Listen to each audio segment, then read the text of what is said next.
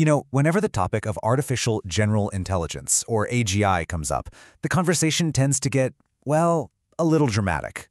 We're almost always shown two completely opposite futures. And it's always framed with this one huge question. Is AGI going to bring us a perfect utopia, or is it going to be a total apocalypse? It's a heck of a choice, right? But what if that's the wrong question to be asking in the first place? So on one side, you have the dream of utopia, right? A world with unlimited abundance, where we all get to unlock our true potential. But then there's the other side, the catastrophe. We're talking social collapse, no more jobs, and humans completely losing control. These are really powerful stories, but they're probably missing what's actually going to happen.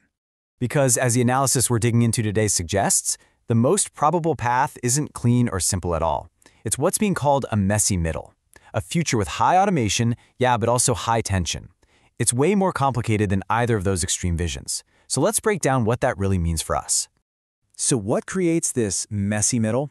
Well, it all boils down to one single powerful dynamic that's probably going to define the next few decades. It's this massive collision between the incredible speed of technology and the, well, the much slower pace of human society. Think of it as acceleration meets friction.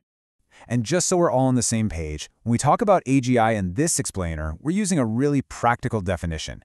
This isn't about robot consciousness or anything from the movies. We're just talking about systems that can do a whole bunch of economically valuable jobs at or even better than a competent human can. Okay, so here's how that core dynamic works. First, you've got this insane acceleration. AI is getting better and adopted faster than we can blink.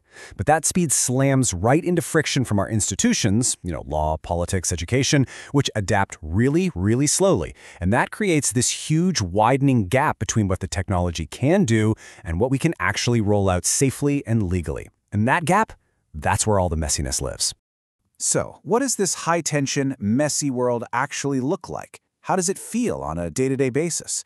Let's take a look at how this all plays out in our economy, our personal security, and even in the physical world. First off, in the workplace, expect some serious churn. All those routine, predictable brain work tasks, they're going to get automated and fast. This puts a ton of pressure on those mid-skilled jobs. At the same time, it creates a huge premium for jobs that need a lot of trust, real-world context, and just complex human interaction. But this brings up a huge question. What happens to all those entry-level jobs where people actually learn how to do stuff? They might get a whole lot harder to come by. And as AI starts driving this massive boost in productivity, the whole political game is going to change. The big fight won't just be about creating wealth anymore, it'll be about how we divvy it all up. Who gets what and how they get it, that becomes the single biggest political fight there is. Now, when you think about AI risks, what's the first thing that comes to mind? Probably killer robots, right? Well, the source material here makes a really critical point. The most immediate, predictable threat isn't physical at all. It's digital. We're talking about fraud, but on an industrial scale we've never seen before.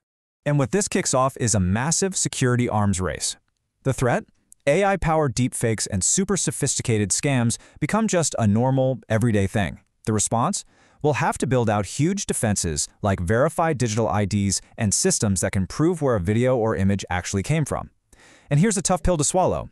We will almost certainly have to trade a good chunk of our privacy and convenience just to keep a basic level of security. And what about actual robots? Well, you can forget that image of humanoids walking down every street. The rollout is going to be way more practical and it'll happen in stages. First, you get the invisible stuff, software agents and robots in places we don't see, like warehouses. Then come the specialized robots for specific jobs in controlled areas, think cleaning or delivery. The general-purpose humanoids, they're coming much, much later, and only after they're cheap, super reliable, and we've figured out all the legal nightmares. All right, so we painted this picture of a messy, complicated future. But just how likely is it, really, compared to those other scenarios? Well, let's actually look at the numbers. So, take a look at this. The absolute best case scenario, this broad prosperity, is given just a 5% chance. Ouch. Severe instability sits at 10%. But look at managed disruption, our messy middle. That's sitting at a whopping 60%. This isn't just some fringe possibility. It's the future we most need to be getting ready for. Okay, so if this messy, managed disruption is the most likely path, what are we supposed to do about it? How do we actually navigate the crazy decades ahead? This timeline gives us a kind of roadmap for the journey ahead.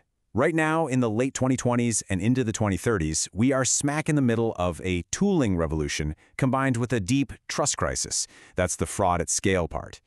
The next phase, through the 2030s, is the physical spillover, where automation really starts to move out of software and into the real world.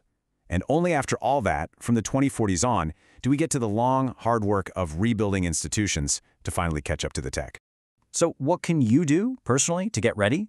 The advice is pretty pragmatic. First, build skills that complement AI instead of competing with it. We're talking things like critical judgment, systems thinking, and building real trust with clients. Second, raise your personal security game, like yesterday. Strong authentication isn't optional anymore. And third, just expect your career to be volatile. That means planning for longer gaps between jobs and accepting that you're going to have to constantly be reskilling. And really, it all boils down to this. This technology is making our world incredibly powerful but also way more contested. Our future isn't going to be written by the code itself. It's going to be determined by how well we build the very human systems of governance, trust, and fairness needed to manage all that new power. And that leaves us with the final, most important question.